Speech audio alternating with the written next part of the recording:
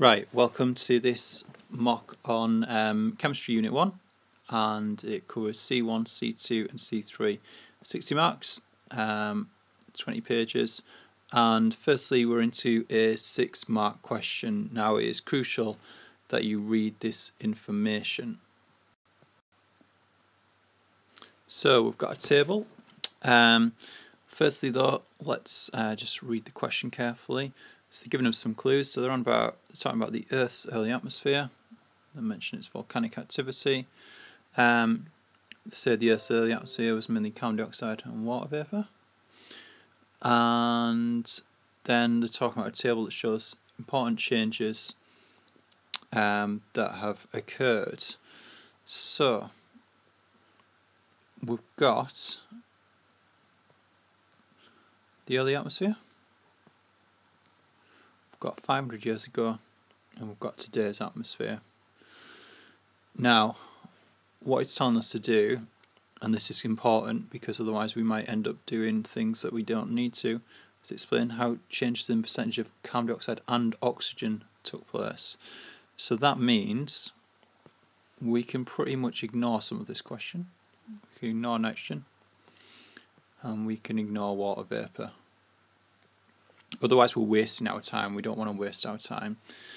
Um, what we'd then do is we'd have a look at how it's changing. Okay, so oxygen increases and then stays the same. Carbon dioxide decreases and then increases in the last 500 years. So we're basically going to be explaining three things. We're going to structure this answer in such a way that we explain the CO2 uh, decrease, sorry, the oxygen increase, and then most recently the CO2 increase. And I'd probably try and go for that order because that way it's in a chronological order. Um, and what we'd have to think about would brainstorm our ideas. So CO2, so we're going to be thinking probably about photosynthesis, okay, and that would apply to oxygen as well. We might think about the oceans.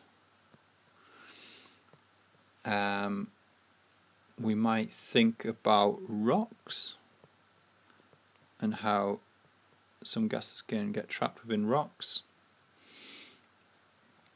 Um, and we'll definitely think more recently about human activity. Um, and then we'll try and structure that, okay? Maybe we would definitely mention fossil fuels. So just in planning my answer, I've pretty much I've structured it here. Um, and I've managed to get my key ideas here. And I noticed a lot of you in the mock exams did actually do this kind of structuring and it does make a massive difference. Okay, so answer that one and then we'll move on.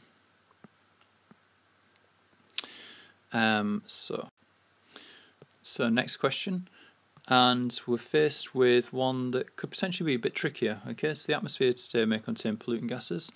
Steps are being taken to reduce the amount and then it talks about flue gases from power stations containing sulfur dioxide. And it says sulfur dioxide can be removed by reacting it with calcium hydroxide. It makes a solid product and water. Name the solid product. Now if you know it that's fine. If not um, there's maybe a way of kind of figuring it out. Okay so we've got this information. Um, we know we've got sulfur dioxide. I'm just going to write it as symbol, which you'll probably know. Um, and we've got calcium hydroxide. Now I know calcium hydroxide is this.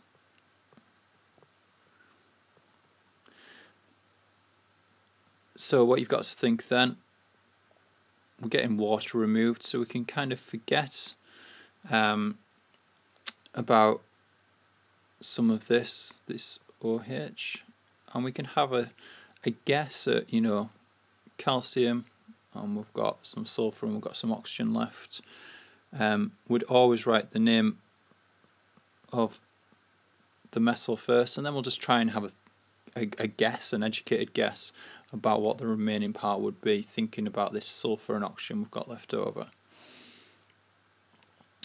Um, then complete the sentence about the reaction. The reaction between calcium and hydroxide and sulfur hydroxide because calcium hydroxide is right. Well, there aren't many clues here. Um, what is a clue is hydroxide. Now we've done about hydroxides in um, C7 and we know something about hydroxide. So even though we might not know this directly from say the revision guide or from being taught, we might be able to link it to something we've done elsewhere. So think about what hydroxides are. Um, again, hard question. Uh, next one, another process uses limestone to remove sulfur dioxide. This reaction makes a solid product, again, and carbon dioxide. Suggests a disadvantage of using calcium carbonate rather than calcium hydroxide. Well, this time they've very kindly given us it in the question. Now, if you just say it produces carbon dioxide, that's probably not enough to get you a mark because you've got to link it, you've got to explain why it's a disadvantage. Okay, so you use that information and just explain it a little bit. That's the key thing. If you think the mark is too easy, sometimes it is. You've got to expand on things. So, nine marks done. Move on to question two and we've got a graph. Okay, so scientists investigating um, nitrogen dioxide concentration, oops, nitrogen dioxide concentration in the air next to a city road, and it's over a 24-hour period. Um, got a graph, and on the graph we can see we've got kind of two peaks. Um, one here, which works out around maybe about 9 o'clock, 9 a.m. And we've got another here, uh, which is what, about 5 o'clock. So straight away, I'm thinking 9 and I'm thinking 5. And even if I don't do anything else for this graph, I'm going to be thinking, right, 9 to 5. People working.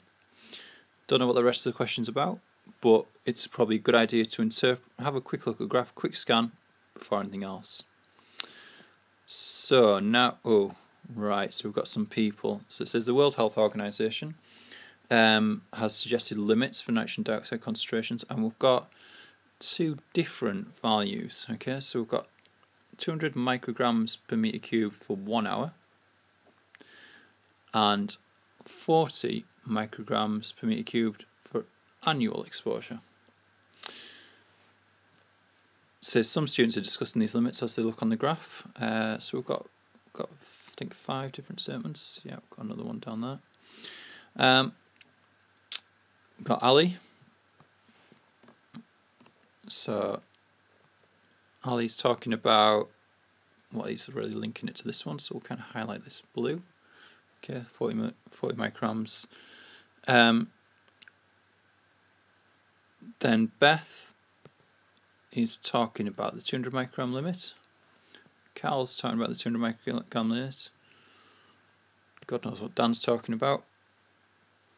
And then we've got Ed, again, who's making another type of statement. Okay, And it's worth looking at this, and just by looking at this, I can kind of like narrow down my options maybe later on in the questions. So let's have a look at what the question says. Whose comments show that one of the WHO limits has been exceeded? So I can ignore Ed and Dan and I've got to look at Ali, Beth and Cal. Okay, so cross-check with my two statements and see which one of those suggests the limit has been broken.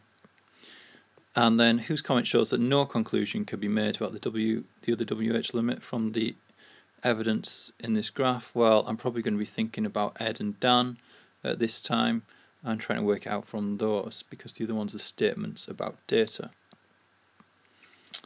Um, next, we've got, and yeah, I was kind of maybe expecting something like this. So, um, number of vehicles, okay, and we've got the number of vehicles given a lot of data here, okay, but we can see a general pattern of increasing, then decreasing, and then increasing, and then decreasing. Okay, much like the graph does. Okay. Now the key thing with this next question is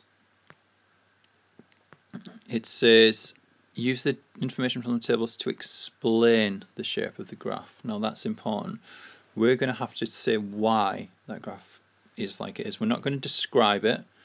We're not going to say, oh well, there's a correlation, okay, necessarily, and just leave it at that. We've got to explain it, okay.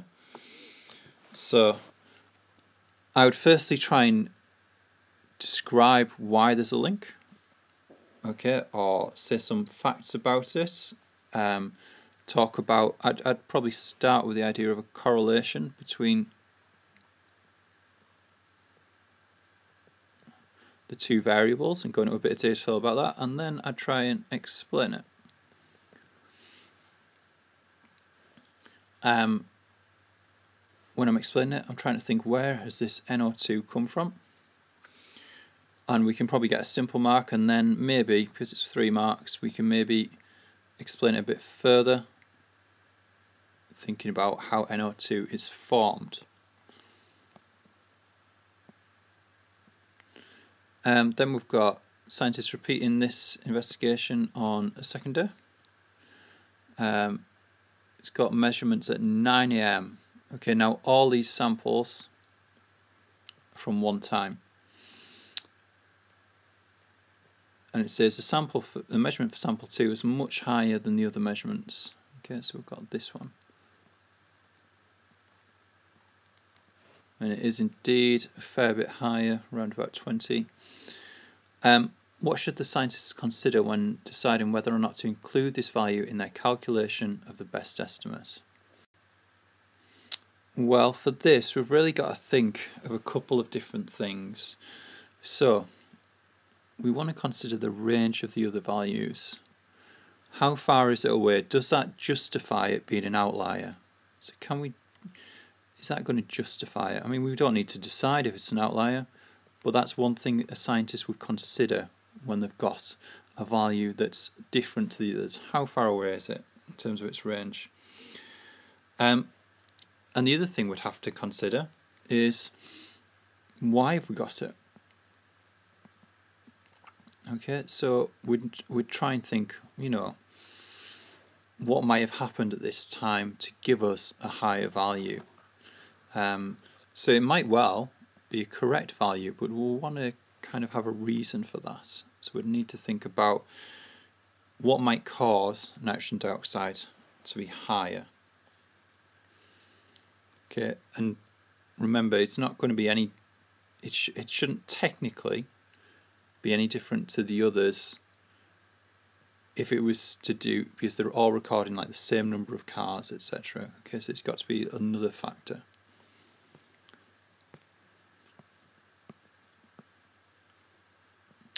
Um, next, scientists use these results to work out the best estimates. Okay, and they get this value, 284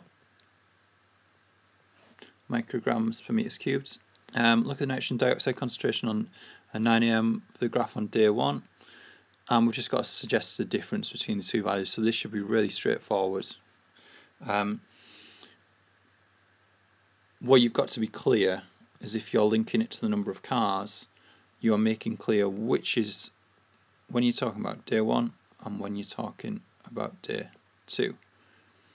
So you've got to be really specific, just saying uh, there were more cars or something along that line would not be enough to get you the mark. You need to be clear, and that's probably why they've highlighted day one and day two. That's a clue. Uh, then we get on to electrically powered cars. Um, so, saying they're used in many cities, may not, so again, we've got some bold, be the ideal solution to air pollution problems. Um, put ticks in the boxes next to the three statements, okay, and it is important we therefore tick three. Some people in the mocks didn't do that, when they were given a number. Um, when taken together, they give the best explanation for this. Okay, so what I do is go through process of elimination. So fossil fuels are burned to generate mains electricity. Okay, well, that sounds feasible because they do get the electricity from the mains grid. Fossil fuels are non-renewable and will run, to, run out. Again, that sounds a reasonable statement, but does it link to this idea of an air pollution problem? Uh, as fossil fuels are burned, polluting gases are given off. Again, statement is correct. Does it link to that? Electric cars give out polluting gases as they're used. Well, I think that's our first one that we've got to look at.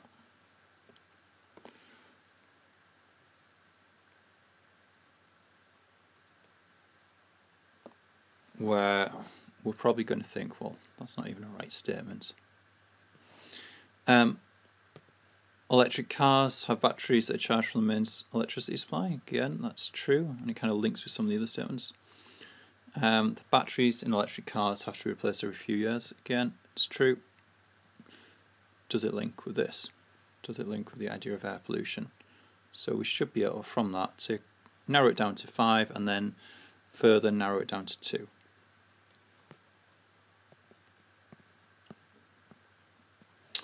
Um, next, question number three, and I think we're moving on to C2 now. Um, company plans to make a new rope for sailing boats. Right, so thinking about properties, materials. Uh, must be strong and stretchy. Uh, the test ropes from five polymers. So we've got five polymers, A, B, C, and D, and E. They want to know which is the best polymer. Um, they measure how much each rope stretches and they do this until the rope breaks. And importantly, I don't know if there's going to be any questions about control variables, but we've got some control variables there. And we've got results in the graph, so it ends when the rope breaks. So before I do anything else, before I even have a look at the question, I'm going to try and just just to understand what's going on. So, um, on this axis, the bottom one, as we go across, there's a greater load. So the further it goes across here, so for example E, um, the more load it will take before it breaks. And then on this axis we've got stretch, okay? So the higher it goes up here, the more it stretches. So you can see that, for example, E and C take a lot of uh, mass before they break, and then B, D, and A. And then A is number one stretchiness, B is number two, C is number three, and D is number four, and E is number five. So we've kind of got considering both axes there.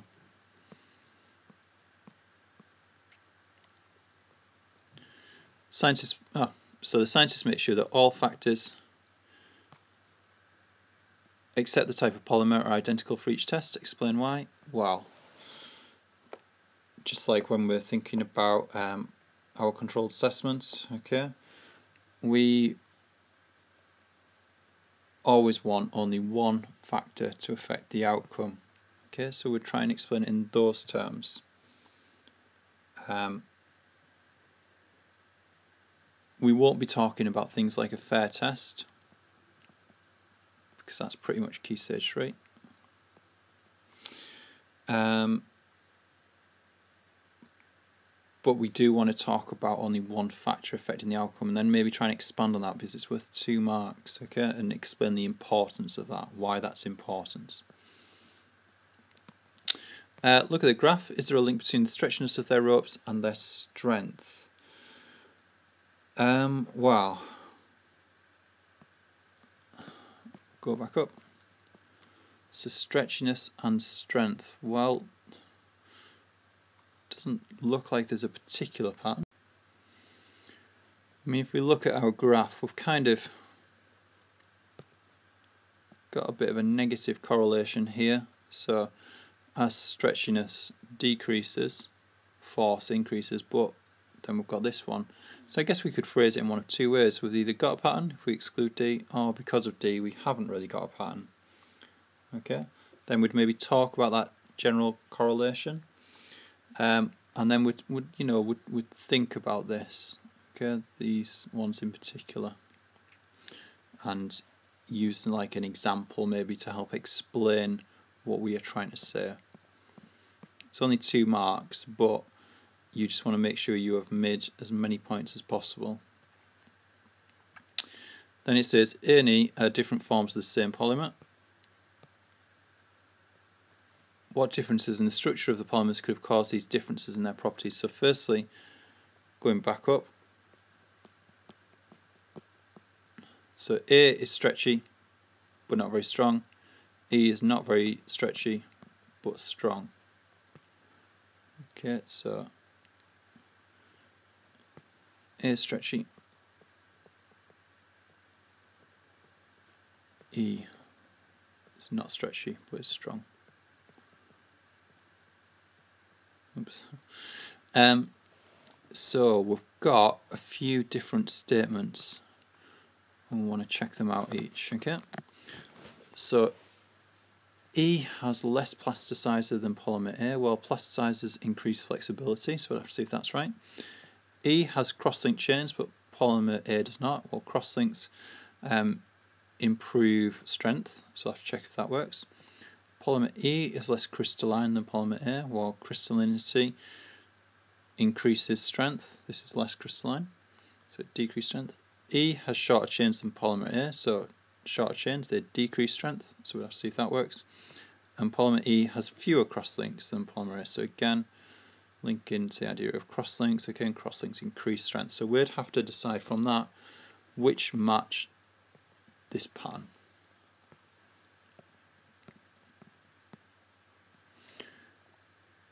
Um, next one, ropes made of different polymer molecules.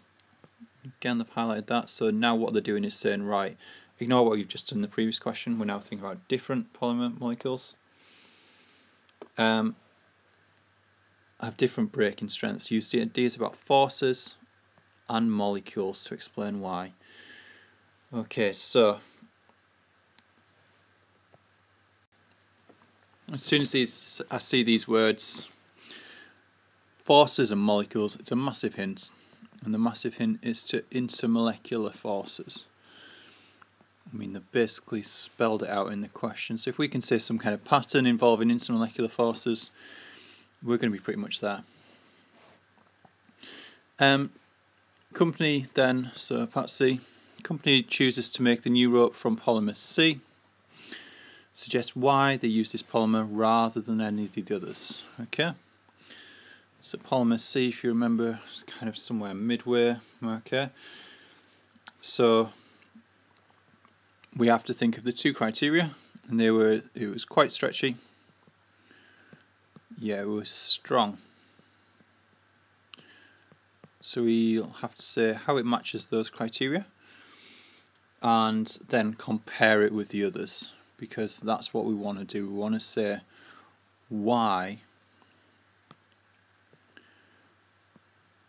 we're not using the others. Okay, so we've got to include that. So comparing with the criteria that they'd set out, compare it with the other ropes.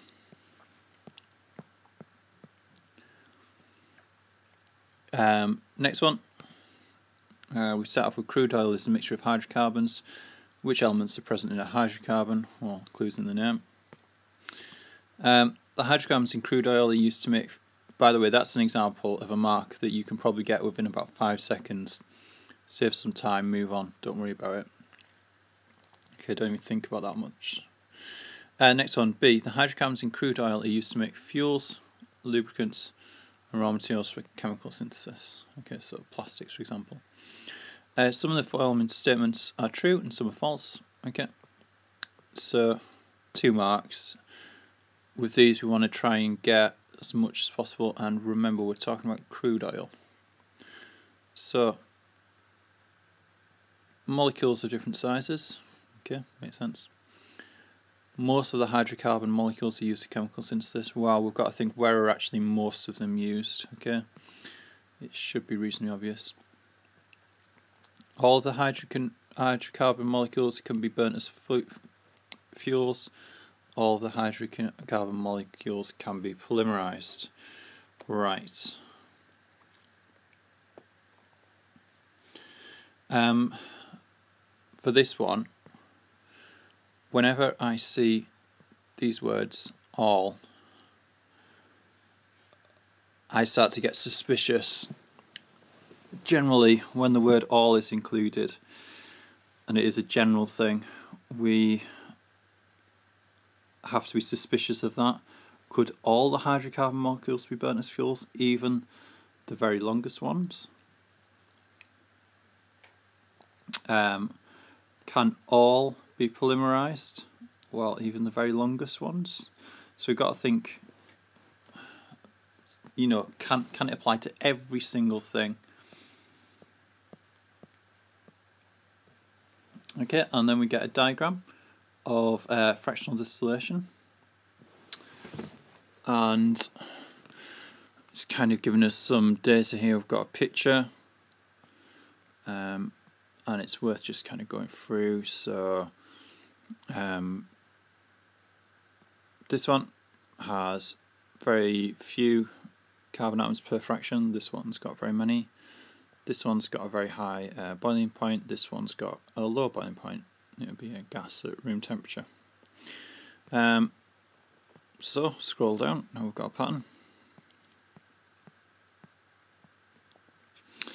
and it's a six marker so it says use the information opposite to describe the link so I've got the link between this oh, link between the size of the molecules in each fraction and the temperature at which the fraction boils okay doesn't seem particularly hard and indeed looking at the mark scheme just look brought it up for this one this one's an example of six marker on high paper targeted at C grids. This one would also appear on the foundation paper. So then says, explain this pattern using ideas about forces, molecular size, and the way in which molecules are arranged in liquids and gases. So they've kind of spelt out what we're going to have to do. So this question is quite nice in that it's it's leading us through it. So the first thing we'd want to do is write that link. Okay. Um, and you could maybe include examples of that. Okay, so often it's a good idea when you do kind of a correlation or a relationship then you include examples to explain it. Uh, then we want to move on to forces slash molecule size. So we're going to be thinking about essentially when we're talking about molecule size, we're going to be thinking about chain length. and we're going to be thinking about intermolecular forces.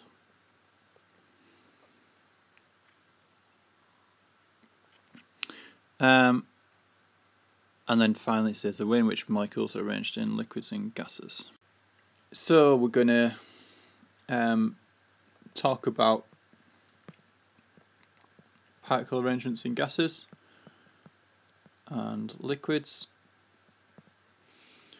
and then we might try and link that to um, size of the molecule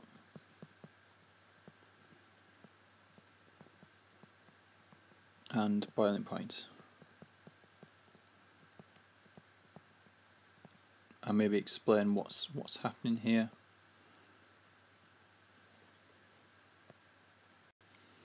And one of the key things, because we're talking about boiling point, we really must talk about the energy needed to essentially overcome those bonds or those forces between the chains and separate them. And once they're separated, then there will be a gas and they will have boiled. Okay, so energy is a crucial, crucial idea in this in this one. Okay, uh, then we move on to uh, this one that we saw the other day, I think. So we've got um, a question about plasticizers. So plasticizers are added to the polymer PVC to make it more flexible. Uh, two six markers in a, in a row, by the way. Some plasticizer may leach out. Okay, so it's added to make it flexible. May leach out of the polymer and contaminate the environment. And we've got people disagreeing about the size of the risks. Uh, so we've got um, this man, businessman, so we'll colour him in red. I think there is almost no risk in using plasticizers. There is no evidence that they've caused any person to become ill. Now notice he's a spokesman for a plastic manufacturer, so we've got to think immediately about bias in that statement. And then we've got public pressure group man. Uh, so we have called for the plasticizers to be banned, shown to harm rats, and they build up in people's bodies. Okay. Now, they've given us some information there, and I think we'd probably start by almost rehashing some of that information. So,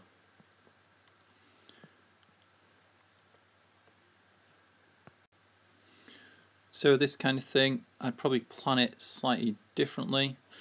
Um, so firstly, I think I'd spend a bit of time talking about the risks so I've already said about rats, but then are rats the equivalent of humans? Would it have the same effect? Um, we can talk about leaching out. Now one of the things they're used for is in cling film. We need to know that.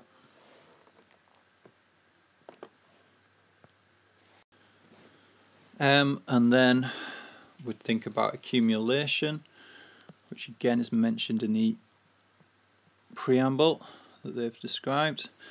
So then we'll have considered the risks, okay, and then would maybe think about relative risk. So, is it proven? Is the data applicable to humans? So is it valid? And then finally, would think about maybe why people might have these views. And one of the things that comes up often on OCR is the idea of benefit versus risk. So some people might think it's valid to have some kind of risk for the benefit, other people might disagree and would think about bias um, and maybe vested interests. Okay, and that should pretty much cover it. We're not actually including much science. Only science we might have to know is this idea about kind of like the plasticizers being used in cling film and then leaching out from that, and that's why it affects food. Okay, so move on. Um, and it says the life cycle of a plasticized PVC product that is used in people's homes include these four stages. Right. Okay, so we're on about life cycles now, life cycle assessment.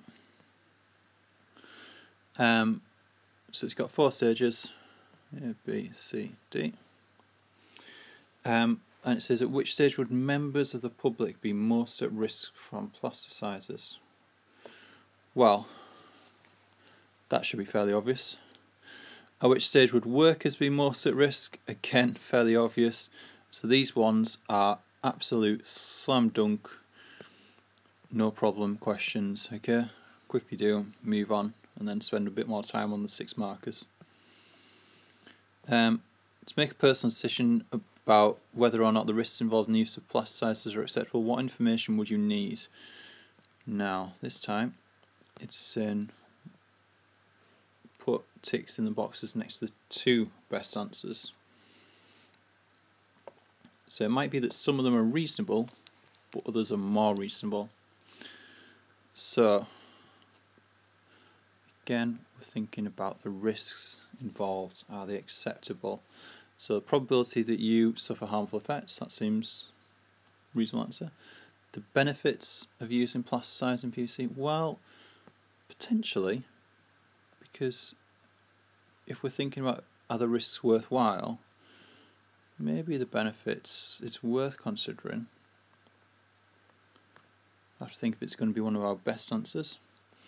How much PVC is manufactured in the UK each year? Well, that doesn't really seem to relate very well. What harmful effects plasticizers can cause are the concentrations involved? Well, that seems very reasonable. Okay, because we do, we're interested in the level of risk. The chemical formula, well, we don't care about that. And which manufacturers make it?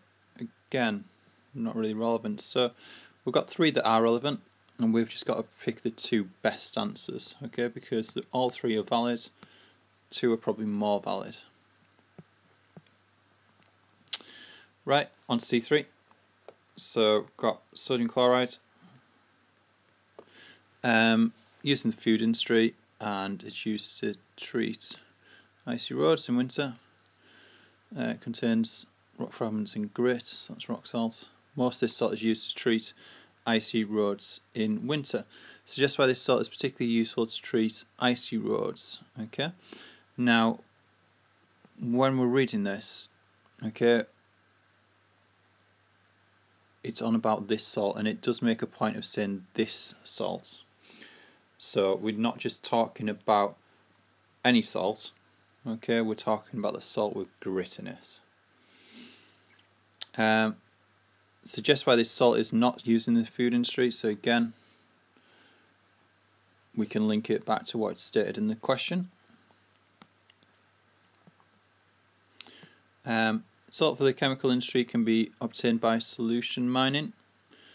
So we've just got to describe that. Okay, so we can think of maybe our little diagram that we see in the textbook where things go down, up, it's fairly straightforward. Uh, and describe and explain an environmental problem. So this one describe and explain. So you're going to state it and then explain why it's a problem. Okay, so you've got to think when you're doing this and you're removing this salt, what problem could it cause? Okay. Bit of a tricky question that. Again, if you think it's too hard, you move on, come back to it. Uh, next one. By passing electricity through salt solution, right, so we've got electrolysis, that's what I'm immediately thinking. Um, there are three useful products can be made and it shows the electrolysis cell for the process. Um, no, we've got various arrows, we've got A, C, B, hydrogen and wastewater, so we're going to be thinking we're probably going to need something to do with A, B and C, and indeed we do. Alright. So it says complete the table to show the names of each of these three chemicals. Choose words from this list. So they've been kind, they've given us a list. Now A, if we have a look, well it must be a gas because hydrogen's given off there as well and it seems to be rising up. So with A we can probably think which ones could be air? Well, sodium carbonate is solid, sodium chloride is solid, could be chlorine, could be nitrogen, sodium hydroxide is usually dissolved in water. So it's going to be between those two. Um, B and C, the clues are in the arrowheads. Okay, so C, it's going in, B, it's going out. So essentially we're thinking, see it's reactant, oops.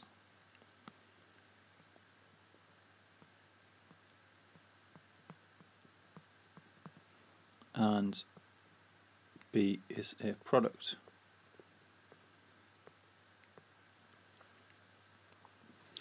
So remember we're using salt water, brine, okay, and it's producing three different things, one of which we've already stated, or one of which has already been stated in the question. Um, then we move on bit something a bit contextual. So it says one industrial use of salt is to make the alkali sodium carbonate. So making an alkali. Um, says there are large underground deposits of salt in the northwest of England, resulted in the development of an industry to make sodium carbonate, and the diagram below shows the process used to make uh, used to produce sodium carbonate.